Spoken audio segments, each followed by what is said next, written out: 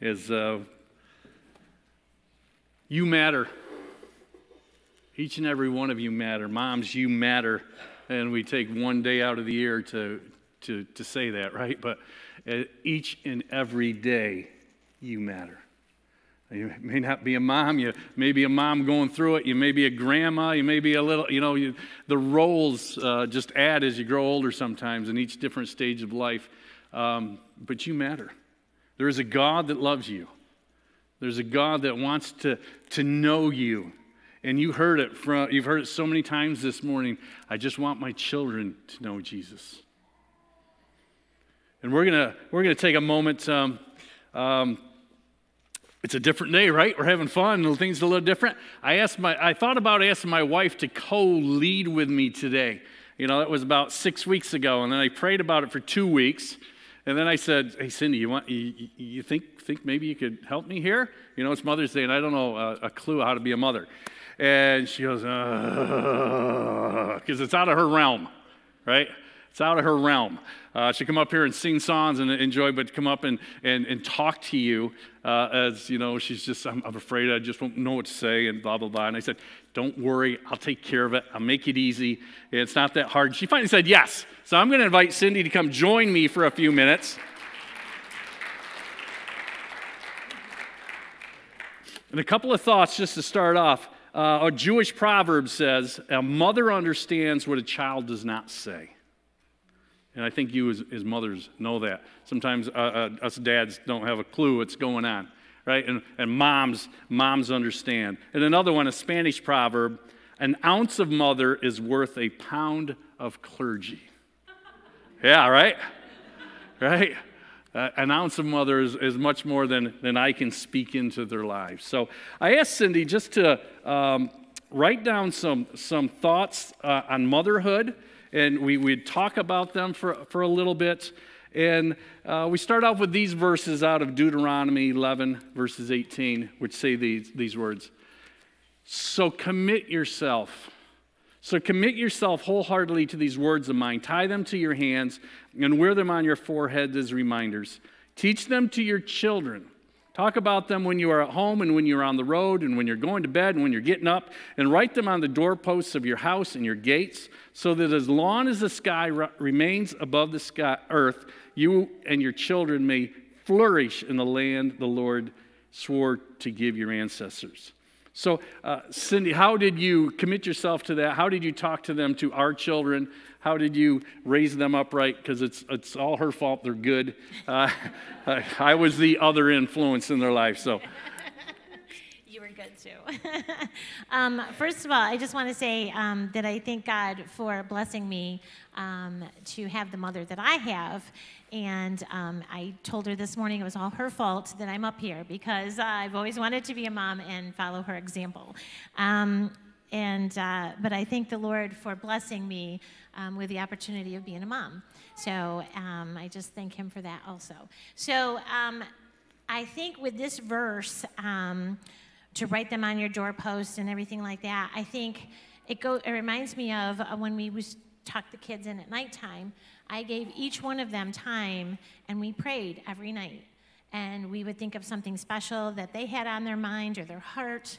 And before they went to sleep, we would always say a little prayer, and then you know it's time to go to the next one. And I would ha- I would do that with all three of them, and um, that was something that um, was very important to all of us that we would we would have bedtime prayer and talk time. And uh, John 10:10 talks about the thief comes only to st- steal and kill and destroy. And I have come that they may have life and have life to the full. How, how, do we, how do we speak into our kids' life? You know, we need to have life to the full ourselves, but how do we speak into our kids, our grandkids, those that the Lord has put in our place so that they, they can live life to the fullest? And what are those things that, that, you, that you did or we did? So um, the first thing is, is when they get up in the morning, um, I always try to have it calm. You know, I wasn't really a yeller, um, and I would always have breakfast ready and things were ready, and it was out the door at a certain time and things like that. And of course, we had one that wasn't a morning person. Um, so eventually, I'm like, you set your own alarm and start your day because you know it just wasn't working. You know, so you have to work with them too and figure out what works for them. But it was just a calm morning, just breakfast and it wasn't every morning, believe me, we had our times. but as much as we could, um, we uh, would always have family dinners. Um, and I think that was very important that we'd sit around the table, we'd all talk together and, and talk about life. Um, and then um, sports came in, and then it's like, oh, now, um, okay, well, we'll have a picnic. So we'd go to the sports field, whether it was practice or whatever, and we'd have a picnic.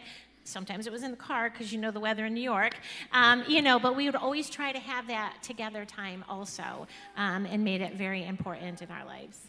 Which goes along with in investing in our kids. Ephesians 5 16 and 17 say these words Make the most out of every opportunity in these evil days. Don't act thoughtlessly, but understand what the Lord wants you to do. And, and I would ask you to, you know, um, make the most of every opportunity. Are you, are you investing in someone else's life? Are you investing in your children's life, your grandkids, or your spouse, whoever that might be? Or are you just, are you just spending time? Right? Are, are you investing or are you just spending your time? Uh, it makes a difference. And we've got this limited amount of time that we have to invest in others. And, and how, did, how did you do that? How did we do that? Um, well, I always tell moms that to um, be where the children are. You know, don't don't hurry them along or don't try to slow them back. You know, be where they are. Um, so when it was time for the nursery, we were part of the nursery. When it was time for Sunday school, you know, we, we got involved in Sunday school. Um, when it was um, time to do activities after school, they were doing Boy Scouts or 4-H or this or that. Well, we had a kids club here, so we did kids club, you know, and uh, clubhouse, and. I wrote my sister into that too. But um, we did VBS in the summers, you know, and, and we were part of that um, because we invested in them um, when it came time for youth group. You know, we invested in the youth group, you know, and we had an open door refrigerator policy at our house. Um, that would be really expensive now, but we did it. Um, and um, you'd be surprised at all the people you become moms to because there's a lot of kids your kids bring and uh, but it, it's just it was just how it was. And and uh, so we always tried to and i'm not saying you have to be the leaders of these things or anything but just be there with them and invest that with them. Um, be parts of it. If there's uh, activity you can do do it you know because it's really important i think. Yeah amen. And then talk about uh, having tough love uh, but also uh, tender-hearted. In john 1 14 it says the word became flesh and made his dwelling among us. We have seen his glory, the glory of the one and only Jesus, they're talking about, who came from the Father, full of grace and truth. There's times where you just got to speak in their lives with the truth, and uh, but you, you know you've got to do it in the right way so they learn and they grow, and, and you don't exasperate them, right? Being a hypocrite or whatever that might be. So. Uh, maybe some stories on speaking into their lives. So, um, you know, our kids are perfect. Are your kids perfect? Because mine are perfect. You know, yeah, yeah, right? Your kids are perfect. Um, so I got this phone call from the teacher at school, and they tell me that Joe had signed my name on a paper. And I'm like, no, not Joe. No, he didn't. No, no, not my Joe. And so I had to go in and look at the signature, and I'm like, oh, he did. like, this is not my signature. Like he's fifth grade or something, you know? right? Like you can't tell. oh, yeah, it was bad. It was bad. It wasn't in crayon, but it was bad. Um, and, uh, you know, and, and I look over, and Joe's like, you know, and he punished himself. Do you know what I mean? I didn't have to punish him because he had, he had already put himself through a whole lot, you know. Um, so that's where the grace comes in, you know. And uh, the truth was, you know, he had to admit to me that, you know, yeah, he signed my name and he had just forgotten, honestly. And uh, because, you know, how you have to sign the homework sheets and stuff, you know. Um, but our, um, our Billy, uh, we were at the grocery store and he was a little bit smaller. And, uh, you know, how they have all those things in reach that you can touch and grab and, as you're checking out, right? And you're trying to load the stuff on the cart and you're trying to do everything yourself, you know? And uh, we get out to the car and Joe goes, Mom, Billy took gum. I said, Oh, no, he didn't. And yeah, Billy took gum. So I finished unloading the groceries and uh, we went back in and he had apologized to the person that was the checkout person and um, and he you know he finally got the I'm I'm sorry out you know, and uh, we got back to the car and I said oh you're not done. I said, we, I said, Jesus sees everything we do, everything.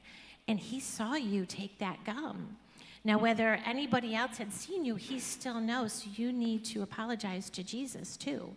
And uh, so we said a prayer right there before we left um, the parking lot and everything. Um, that he had to pray and, and say that he was sorry that he took that gum. So I, I hope that instilled a lesson in him that, you know, no matter if you think no one's looking, God is always looking.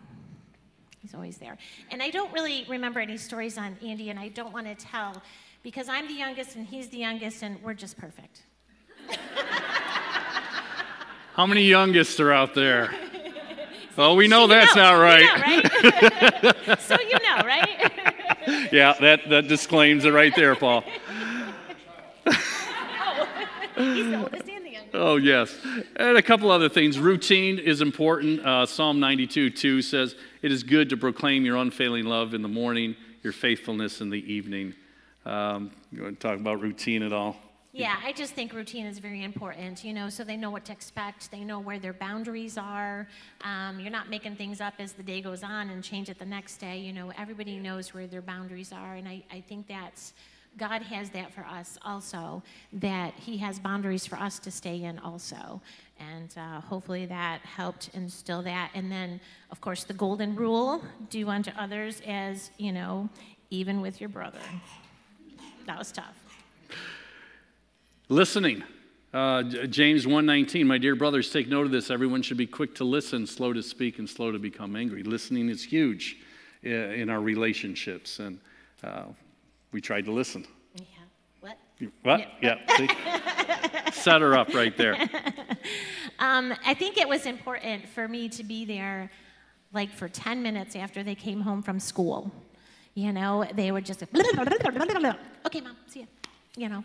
But, you know, it was just important, I think, and, and uh, just to be there for them, you know, and then we would also do that again before bed, and we'd talk about the day during dinner and stuff, but um, just to be there and listen and ask how their day was.